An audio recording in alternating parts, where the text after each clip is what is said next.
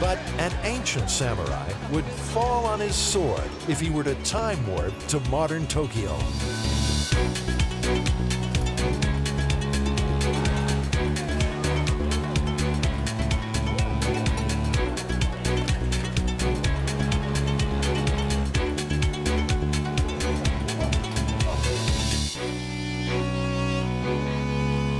Meet Tetsuro Azuma, hairstylist to Tokyo's hip and happening. Clients come to his tiny salon from all over Japan, happily paying out hundreds of dollars for the latest do. It's, it's a bit expensive, but I think for the money, the technique is very good. It's perfect. Not the image for a martial arts expert? Think again. For this mild mannered hairdresser shuns the trendy Tokyo nightclubs and explores a different world karate.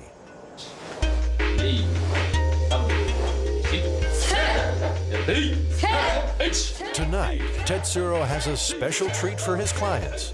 They've joined him at a class with his master, or sensei, Mori-san.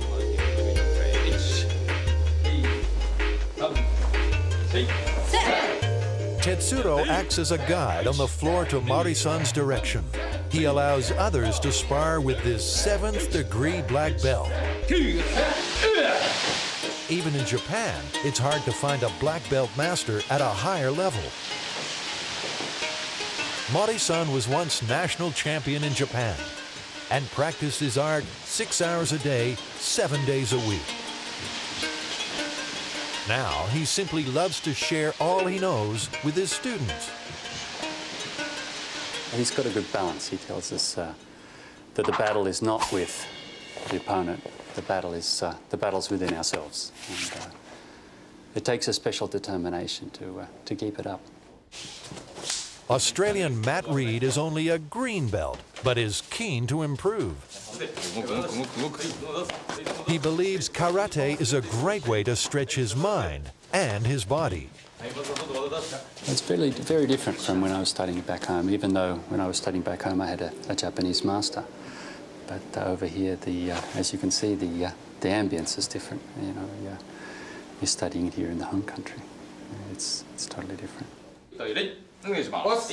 Karate's roots began centuries ago in the southern Japanese island of Okinawa, where Chinese settlers and Japanese natives combined to create, literally, China hand.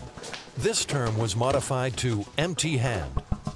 Karate's use of hands, feet, knees, and elbows to immobilize an opponent became famous in the 1920s.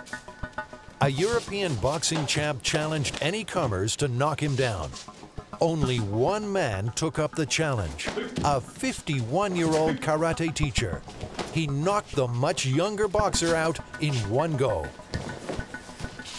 Every part of the body is considered a weapon, and if you add the right amount of power at a high speed, it's a deadly repertoire.